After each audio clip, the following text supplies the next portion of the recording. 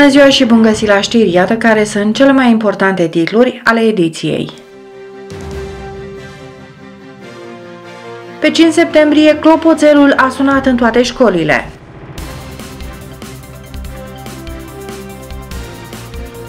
Congresul Național de Medicină Fizică de Recuperare și Balneologie la Slănic Moldova.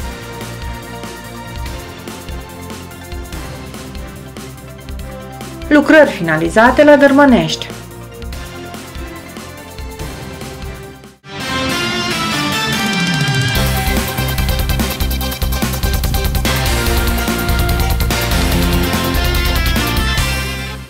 Pe 5 septembrie, clopoțelul a sunat în toate școlile din județul Bacău, dar și din România. Cu emoții au fost prezenți la început de an școlar elevii, părinții și cadrele didactice. O delegație importantă formată din prefectul județului Bacău, Lucian Bogdanel, președintele Consiliului Județean Bacău, Valentin Ivancea, Vasile Budeacă, consilier județean, profesor Anca Igarmin, inspector general școlar al ISJ Bacău, au fost la două unități de învățământ. Este vorba de școala numărul 1 Târgu Ohna și școala gimnazială Scarlat Longin Dofteana, unde reabilitarea, respectiv construirea de corpuri de clădire, au fost duse la capăt de către primarii Cristian Aurelian Ciubotaru și Ioan Bujor, cu grija gospodarului, conștient de menirea pe care o are.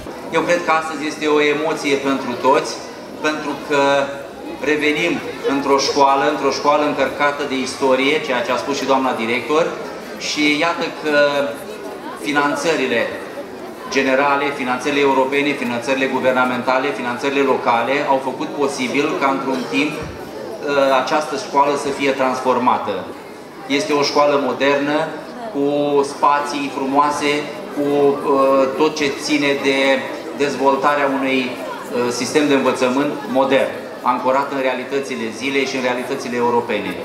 Eu vreau să vă mulțumesc, în primul rând, că ați avut răbdare, ați avut încredere, pentru că n-a fost simplu ca toți uh, oamenii, toți copiii, toți părinții din această zonă a orașului, din zona de vest, să-i translatăm pentru 2 ani de zile în zona de est, cu toate frământările noastre, dar iată că așteptarea noastră a luat sfârșit.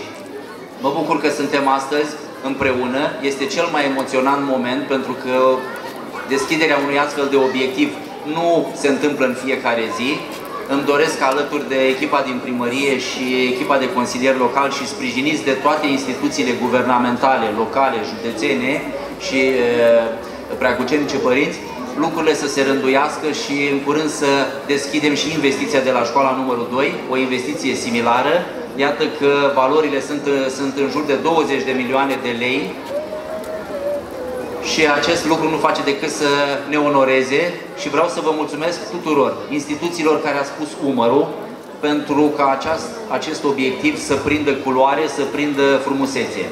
Vă mulțumesc, vă urez succes în noul an, în noua provocare, să aveți sănătate, să aveți încredere și tot ce vă doriți. Cred că rolul școlii este acela de a transforma ghemotoacele din fața noastră de aici în oameni și cred că pentru a realiza acest deziderat parteneriatul dintre școală, părinți, familie și autorități este unul fundamental.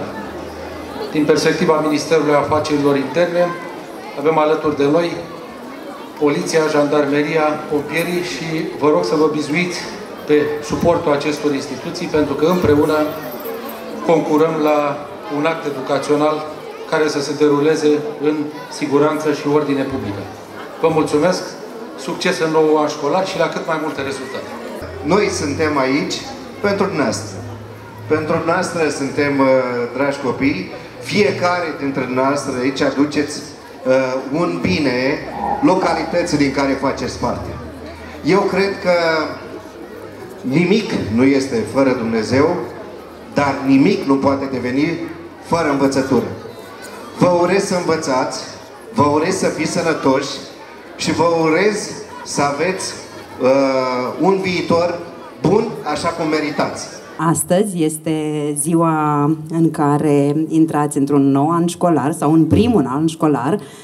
Uh, de aceea această um, locație și-au întrăznesc să spun acest lăcaș uh, curat, frumos, ordonat, uh, care vă primește în spațiile, iată, dotate, așa cum spunea doamna directoare, dar dincolo de toate, um, dotate cu suflet și este vorba despre ceea ce uh, v-au oferit și vă vor oferi cadrele didactice, doamnele educatoare, doamnele învățătoare, profesorii voștri. De aceea, singura mea încurajare este cea pe care o dau și copilului meu, să faceți ce trebuie, să învățați, să ascultați de părinți, uh, să vă lăsați formați, să vă lăsați iubiți, pentru că și atunci când vă ceartă un părinte sau un dascăl, vă iubește de fapt. Am invitat toți cei care au activat și au promovat educația în localitatea noastră, pentru că numai de la școală, biserică și din credință putem să știm cu toții că există un mare generator de educație. Am invitat pensionarii să fie alături de noi, pentru că datorită lor, în localitatea Dofteana au ieșit mulți oameni care lucrează în aparatul județean, în aparatul de stat al României, plecând de la muncitori, maestri, maestri militari, ofițeri, subofițeri, tot felul de oameni bine pregătiți care au ajuns în punctele cheie. Nu poți să mergi la o societate comercială pe Valea Trotușului și nu numai să nu fie un doftean care lucrează. Deci le place munca. Le place munca, dovadă căci s-a văzut de fiecare dată, numai cu sprijinul dumnealor și prin impozitele pe care le-au plătit și le plătesc de fiecare dată, localitatea noastră a înflorit. Comuna Dofteana este cea mai mare comună ca număr de locuitori din județul Bacău și face parte din primele șase comune din România. Un an școlar transmite și echipa Acum TV cu mult echilibru, sănătate și cu reușite tuturor elevilor. Zilele acestea, orașul stațiune Slănic Moldova a fost gazda celui mai important eveniment pe tema recuperării medicale. Este vorba de Congresul Național de Medicină Fizică de Recuperare și Balneologie. La eveniment au fost prezenți fizic specialiști din țară, dar și foarte mulți prin intermediul platformelor online. În deschiderea festivalului au rostit alocuțiuni primarul orașului Slănic Moldova, Gheorghe Baciu. Gazda ediției din acest an, Diana Loreta Păun, consilier prezidențial, Tudorița Lungu, ministru secretar de stat, Narcis Jitaru, subprefectul județului Bacău, Mircea Fechet, deputat în Parlamentul României și președintele PNL Bacău, mulți medici și profesori universitari de prestigiu. Mai multe detalii în minutele următoare. Stimate domnule primar, domnilor profesori, onorat prezidiu, distinși invitați, dragi colegi. Vă mulțumesc în primul rând pentru invitație și îmi face o deosebită plăcere să mă aflu astăzi la Slănic Moldova, pentru a vă prezenta mesajul administrației prezidențiale. Ați creionat un program științific cuprinzător, cu teme complexe și de actualitate, pentru care vă felicit. Recuperarea medicală, serviciile de spa și de relaxare au un rol din ce în ce mai important în societatea modernă și mai ales în contextul preocupărilor privind îmbătrânirea activă.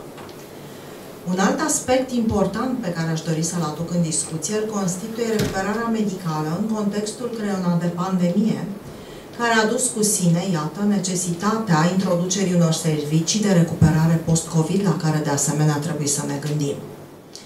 România are un potențial balneoclimateric enorm, numărându-se printre țările europene cu cele mai variate și mai bogate resurse ape termominerale, namoluri, gaze terapeutice, saline și lacuri. Din păcate, aceste resurse sunt insuficient valorificate. Piața turismului medical, deși este în creștere, este departe de adevăratul potențial. Conștientizarea și valorificarea avantajelor competitive pe care le deținem, confluența a două domenii aflate la perspective de dezvoltare deosebite, sănătatea și turismul au o importanță deosebită. Avem domenii de nișă și centre de excelență care pot oferi servicii medicale la standarde internaționale, avem un potențial balneoclimateric și natural și avem, iată, profesioniști de excepție. Vă felicit așadar pentru organizarea evenimentului de astăzi, pe care îl privesc ca pe o extraordinară oportunitate de schimb de bune practici, de creare de punți de legătură, de networking și de facilitarea accesului la noutăți din domeniu. Și folosesc acest prilej pentru a-i saluta pe toți cei conectați online, pe cei din sală, um, pe invitații din străinătate și în mod special pe colegii noștri din Republica Moldova. Vă doresc mult succes în aceste zile încărcate de activitate științifică și vă mulțumesc încă o dată. O mare onoare pentru mine, domnule președinte, să-mi faceți invitația de a participa la acest congres. Este până la urmă și o preocupare a Ministerului Antreprenoriatului și Turismului de a colabora cu specialiștii din domenii, iar uh, dumneavoastră, domnule președinte, și uh, mulți profesori universitari și specialiști din turism au început o activitate Uh, laborioasă, zic eu, cu Ministerul, în sensul uh, modificării cadrului legal național pentru a ajuta uh, ca tratamentul balnear să fie și mai puternic dezvoltat în România. Foarte multă lume are nevoie de acest lucru. România are și resurse umane prin mari specialiști, medici în medicină Uh, fizică de recuperare și balneologie, de asemenea are și resurse naturale și antropice, are tot ce îi trebuie ca să se dezvolte pe tratamentul balnear.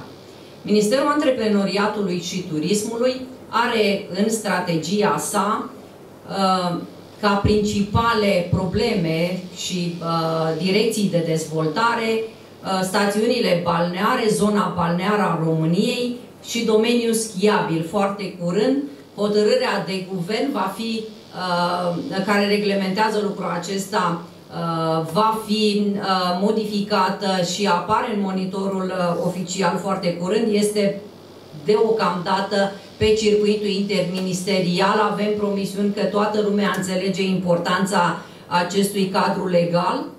De asemenea, Uh, tot ca și sprijin pentru dezvoltarea zonelor balneare, este o schemă, schemă de minimis lucrată de Ministerul Antreprenoriatului și Turismului, care vine să ajute mediul de afaceri care lucrează în turism și își dezvoltă afacerile în stațiunile balneare, cu ajutoare de minimis până la 200.000 de euro, reprezentând 50% din cheltuielile eligibile ale investițiilor ce urmează să le facă în domeniul turismului, în zona de primiri, uh, turiști, dar și în echipamente care se, să uh, modernizeze bazele de tratament din stațiunile balneare.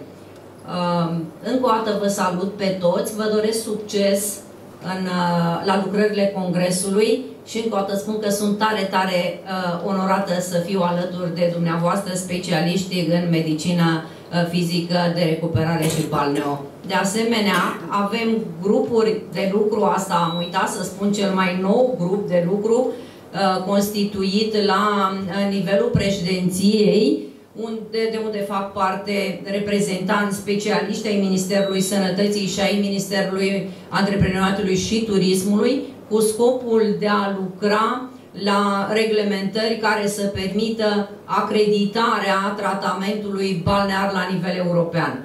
Miercuri 7 septembrie, ora 15, la Filarmonica Mihail Jora din Bacău, are loc conferința de presă Nabucco 180 de ani de Giuseppe Verdi, eveniment unic în România. Asociația Divas, în parteneriat cu Conacul Gheorghe Buzdugan, vă invită sâmbătă 10 septembrie de la orele 19 la spectacolul Nabucco pentru a celebra cei 180 de ani de la premiera mondială. Invitat special este corul operei de stat din Ruse, Bulgaria, dirijor Mircea Poliartok, având ca soliști artiști români de talie mondială. În prima zi a lunii septembrie, primarul Oneștiului Victor Laurențiu Neghină împreună cu europarlamentarul Dragoș Benea, prefectul județului Bacău Lucian Bogdanel, președintele Consiliului Județean Bacău Valentin Ivancea și vicepreședintele Consiliului Județean Bacău Gelu Panfil au verificat stadiul lucrărilor de modernizare și reabilitare a Spitalului Municipal Onești, Sfântul Ierar Dr. Luca, un proiect în valoare de 32 de milioane de lei, a cărui cofinanțare este asigurată în procent de 95% de către Consiliul Județean Bacău. În paralel se lucrează intens la clădirea ce va găzdui remeneul. Noul mamograf așteaptă ultimele avize pentru a fi pus în funcțiune, urmând ca în perioada următoare să sosească cel de-al doilea CT, un aparat medical de ultimă generație. Astăzi a fost o vizită în teren a celor de la Consiliul Județean alături de europarlamentarul Dragoș Benea, o vizită în care, să zicem, s-au vizualizat etapele în care se află proiectul de uh, reabilitare a confortului termic. Da, am făcut o prezentare a stadiului implementării proiectului de reabilitare termică, uh, parte de arhitectură, însemnând uh, termosistemul și parte din lucrările care s-au executat la interior. Și cu această ocazie am uh, făcut o prezentare și a stadiului de implementare a celorlalte proiecte cu fonduri europene care le avem uh, la Spitalul Onești, respectiv uh, ambulatoriu, care a fost care am achiziționat RMN-ul, mamograful, instalație radiologică digitală. Am arătat spațiul unde a fost amenajat mamograful, Uh, spațiu unde a fost uh, amenajat și montat instalația radiologică digitală și clădirea care se face aici uh, pentru amplasarea RMN-ului. De asemenea, am prezentat domnului președinte, care ne-a susținut la vremea respectivă în 2011 pentru finanțare la Ministerul Sănătății. Am arătat finalizarea lucrărilor la stația centrală de sterilizare, un proiect uh, la fel uh, de 1 milion jumate de euro, în care 1 milion dotare și 500 de mii amenajarea spațiilor. Uh, Lucrările sunt în grafic la proiectul de reabilitare? La proiectul de reabilitare sunt în grafic în ceea ce privește partea de arhitectură, de instalații și electric. Problema care o avem și care va fi rezolvat anul viitor, apare pe partea de centrală termică, lucrări la partea termică, panouri solare, panouri fotovoltaice, pompe de căldură, deci tot ce ține de partea de termic căldură, care au fost niște probleme la proiectare și s-a întârziat, dar le vom finaliza. Termenul de finalizare este 31 a 12 a 2023 mai este timp suficient. Da, da. În rest, uh, pe această cale vreau și eu să uh, spun pacienților și aparținătorilor să cerem scuze pentru disconfortul creat datorită acestor lucrări care se fac la interior.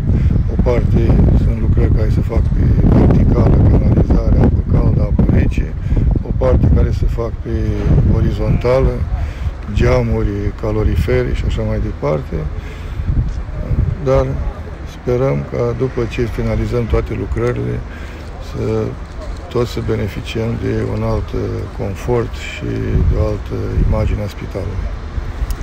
La Dărmănești s-au încheiat lucrările la proiectul de extindere rețea de gaze. Este vorba de cartierul Josen Triaj, dar și de cartierul Plopu. Mai multe detalii aflăm în minutele următoare de la primarul orașului Dărmănești, Toma Constantin. Am încheiat uh, lucrările de extindere a rețelei de gaze în cartierul Joseni, Triaj. Avem și aici proiect de asfaltare și toți cei care doriți să faceți racord la gaze, aș vrea, la fel în regim de maximă urgență, să demarați aceste uh, lucrări, pentru că faceți cerere către autoritatea publică, noi le transmitem centralizat la Delgaz, pentru că sunt proiecte depuse pentru uh, modernizarea străzilor și va fi foarte greu. Același mesaj îl transmit uh, cetățenilor din cartierul Plopu, unde și, și acolo am încheiat Uh, lucrările de extindere a rețelei de gaze și proiectul pentru modernizarea străzilor în cartierul Plopu, rest de modernizat ce a rămas, este într-o fază avansată la Compania Națională de Investiții și e posibil ca până spre sfârșitul anului 2022 să fim condiționați uh, de uh, trecerea proiectului de asfaltare a străzilor într-o etapă Uh, superioară sau într-o etapă următoare de această racordare la gaze. Uh, sigur că Este valabil ce am spus mai devreme și uh, acolo unde este cazul de canalizare sau extinderea de apă, să avem aceste uh, racorduri făcute, pentru că odată ce vom turna asfaltul, lucrurile se complică foarte mult. Administrația publică locală intenționează să demareze noi proiecte și în Brătulești. Detalii despre acestea aflăm de la primarul orașului Dărmănești, Toma Constantin. Vreau să mai transmit un mesaj cetățenilor din cartierul Brătulești, indiferent de străzile pe care locuiesc. Uh, și la Brătulești vom începe în regim de urgență, cred că de săptămâna viitoare, extinderea rețelei de gaze acolo unde încă nu avem uh, gaze și suntem foarte avansați cu proiectul pentru uh, modernizarea străzilor. Este un proiect de 16 uh, milioane de lei, mă refer la cartierul Brătulești, de turnare, de modernizare a străzilor, turnăm asfalt și facem rigole. În regim de urgență, este mult mai avansat acest proiect de la, uh, din cartierul Brătulești, este în fază finală de avizare la Compania Națională de Investiție și atunci, uh, în regim de urgență, vă rog, cei care încă nu ați făcut racordurile la apă, canal sau gaze, să faceți aceste lucruri pentru a veni, în, pe de o parte, în sprijinul nostru. Este condiție de eligibilitate ca să putem turna asfalt, să avem celelalte utilități făcute și, sigur, să aveți niște costuri mai, mult mai mici. Recent a avut loc la Comănești premierea cuplurilor, care au împlinit 50 de ani de căsătorie. Evenimentul a fost unul emoționant, atât pentru cei care în urmă cu 50 de ani spuneau da la început de drum, dar și pentru rudele acestora care au venit să încurajeze. La evenimentul organizat de către primarul orașului Comănești, Viorel Miron, au mai fost deputatul PNL de Bacău, Cătălina Ciofu, subprefectul Bacăului, Narcis Citaru, dar și viceprimarul orașului Comănești, Adrian Ciobanu. Sunt uh, onorată să fiu prezentă și anul ăsta alături de voi în această zi deosebită în care uh, sărbătoriți alături de întreaga comunitate 50 de ani de căsătorie. Este o distinție meritoasă. Uh, orice tânăr ar trebui să vă preia ca model de bună practică, să încerce să fie și ei, să aibă o viață cât mai ordonată, astfel încât uh, alături de partenerul de viață să ajungă la cel puțin 50 de ani de căsătorie, nunta de aur. Nu, oricum e denumit așa, este într-adevăr uh, o vârstă prețioasă. Dumnezeu va dată sănătate și putere să ajungeți împreună pe acest drum. Părinții mei uh, s-au căsătorit în 84, mai au puțin până la nunta de aur. I-am văzut cum au trecut și prin bine și prin greu. Uh, și noi copiii le-am fost alături și cu siguranță și copiii dumneavoastră sunt mândri de uh, vârsta onorabilă pe care ați împlinit-o și nepoței. Într-adevăr, uh, diferența dintre generații este destul de mare. Trăim alte vremuri față de care le-ați trăit dumneavoastră. Poate avem alte provocări, poate mai puține. Fiecare le știe din uh, sânul familiei. Uh, vă felicit, vă urez mulți ani împreună, să reușiți să vă bucurați cât mai mult de compania partenerului de viață și să astfel să treceți mai ușor prin toate greutățile. Iată că a ajuns și domnul primar, am avut ocazia să iau și cu uh, La mulți ani încă o dată și oricând o să vin cu drag în uh, comunitatea din care m-am născut, să văd uh, cum își respectă bătrânii și îi onorează în această zi deosebită. La mulți ani și felicitări!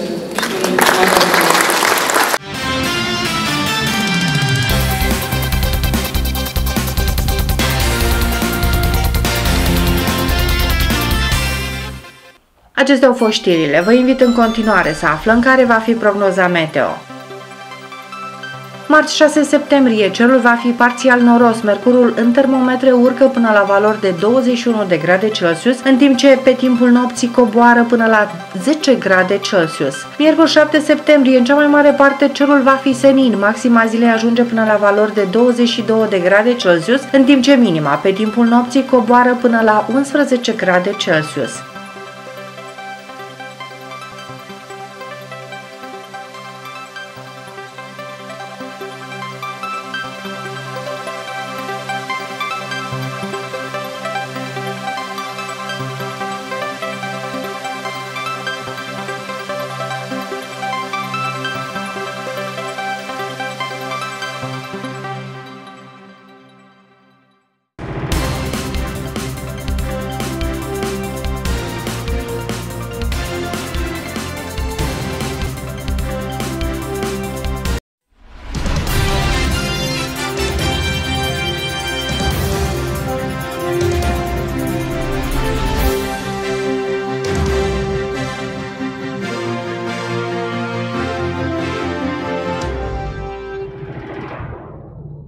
Acestea au fost știrile. Nu uitați, mai multe informații puteți afla acces în site-ul www.acum-tv.ro și ne puteți aprecia cu un like pagina de Facebook Acum TV Kid.